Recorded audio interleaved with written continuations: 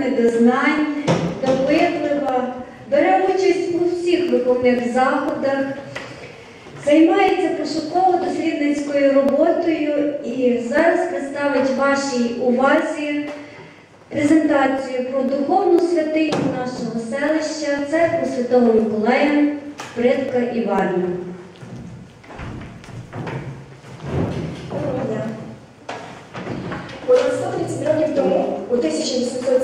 1877-1882 роках, у скалі Збруче, тепер СМТ Скала місцева українська громада спорудила храм Святого Миколая. З тих пір він зайняв важливе місце в житті селища. Стіни церкви пам'ятають священників, котрі за ці роки несли слово Боже до скаличан, своїх меценатів, жертводавців, будівельників, художників, різдарів. Вони, тобто стіни, пам'ятають, але промовити, на жаль, не можуть. А люди смерті. Смертні. Вже практично не залишилося вже в селищі людей, які могли б переказати хоч щось про будову церкви. І тому все поступово стирається з людської пам'яті. На цьому тлі виникають перекручування, неточності, а то й зовсім недоречності. Дана краєзнавча розвідка здійснена з метою відновити е, правдиві відомості ім'я встановлення історичної справедливості щодо будівництва церкви Святого Миколая у селі Подільській, її внутрішнього оздоблення, подальших ремонтних робіт, а також з'ясування ролі церкви в громадсько-політичному і релігійно-церковному житті селища. Що ми отримали? В першу чергу ми звернулися до Державного архіву в Тернопільській області, де ми отримали довідку про роки побудови храму, про кількість землі 61 гектар, котрою володіла церква станом на 1929 рік. Найголовнішою, на нашу думку, знахідкою стало отримання рукописів жителя скали Петра Мартюка, що жив в 1891-1961 роках. Батько котрого Василь молодим хлопцем брав участь у будівництві храму. Саме завдяки цим документам про зведення храму відомо стало наступне. У 1867 році до місцевої парафії прибув молодий та ідейний отець Костецький. Спочатку йому було досить важко знайти підхід до своїх вірних. Місцеві жителі тільки відчули смак свободи після скасування панщини і не знали, що з цією свободою робити. Одні боячили, інші займалися контрабандою, адже поряд кордон із Російською імперією. Подружжя жили на віру, діти не відвідували школи, навіть церковного братства не існувало. Перші 10 років свого побуту в скалі парк потратив на перевиховання місцевих мешканців. Методично отець проваджував їх на християнську дорогу власним прикладом життя. За цей час він створив руську читальню, товариство тверезості. Не забував парох про економічний аспект життя скаличан. Він їх вчив, як можна грамотно обробляти свої поля і отримувати високі врожаї. Коли отець Костецький переконався, що має підтримку і авторитет, задумав він побудувати нову, велику муровану церкву. Так як на той час існувало два дерев'яних храми в місті Миколаївська та на старій скалі Різдва Преподобної Діви Марії, то було вирішено споруджувати храм для обох парафій відразу, посередині між містом і старою скалою, такої величини, щоб вмістити велику кількість люду. Адже в обох громадах налічувалося 2500 греко-католиків, а дерев'яні церкви були малими. Рождественська ще й аварійною після пожежі. Проект було замовлено у львівського архітектора на зразок церкви Святого Миколая у Києві.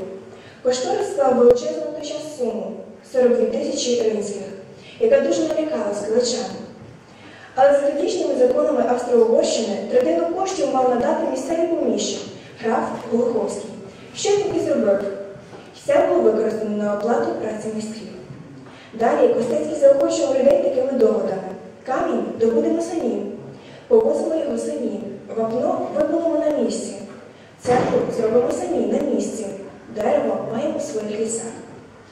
Перший наріжний камінь було злагоджено заложено у 1877 році отцем Костецьким. І того ж року закінчено фундамент.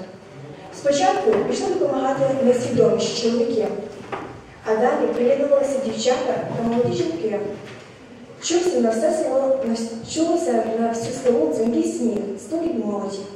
Українці повірили у власні сили. Вони можуть, вони велика сила, вони громада. Нагадаємо, що на той час у скалі проживало понад 6 тисяч населення. З них близько одної тисячі поляків латинського віросповідання і по дві з половиною тисячі євреїв і українців, або русин, як тоді казали, греко-католицького сповідання. Останні на своїй землі були найпригнобленішими, найбіднішими. Тому такою важливою була їхня віра у власні сили.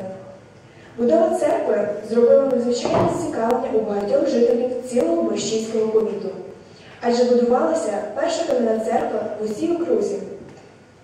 Завершилося будівництво у 1882 році, про що свідчить довідка з Державного архіву Тернопільської області, що станом на 1935 рік церква Святого Миколая, мурована 1882 року, як самостійна експозитура належала греко-католицькій громаді міста Скала Борщівського повіту Тернопільського воєводства і відносилась до Скальського деканату Станіславської архієпархії. Є відомістю, що наша церква була відзначена відпустовим праздником Святого Миколая. Наступним нашим кроком була розвідка у самому сучасному храмі. Відвідавши захресті церкви Святого Миколая, ми зуміли встановити деякі прізвища будівельників, художників, різдарів. На так званій стіні пошани захресті храму є фотопортрет, є, є фотопортрети братів Семена та Михайла Оводюків з надписами, в яких вказано, що вони були будівничими. Є тут фото Андрія Антіна Шурми з підписом Рідбер по. З допомогою тієї ж ціни пошани та церковних книг нам було встановлено прізвище священників і роки їхнього служіння в нашому храмі. За допомогою ряду джерел, а це публікації в краєзнавчому часописі, літопис Борщівщини, ті ж оповідання Петра Мартюка, опитування місцевих жителів, ми з'ясували біографії панотців, а також якими душпастирями вони були для своєї громади. Ми, ми прослідкували за вище сказаними джерелами обставини створення хору при церкві, його діяльність, а також його діяльності, а також виявили, що у селищі існували ряд громадських організацій, які були пов'язані з церквою. А це просвіта, рідна школа, дитячий садок захоронка, спортивно-пожежне товариство Січ, сільський господар. На сам кінець з'ясували сьогодення храму, до якої конфесії він належить, а належить до УПКЦ КП, які ремонтні та реставраційні роботи відбуваються. Минуле століття світових воєн впали імперії, які, вершили долі цих народів, а церква у скалі стоїть твердим світлом великого культурного змагання українських громадян на чолі з отцем Костецьким. Нам, потомках тих громадян, треба хоча б про це знати і пам'ятати в ім'я історичної справедливості.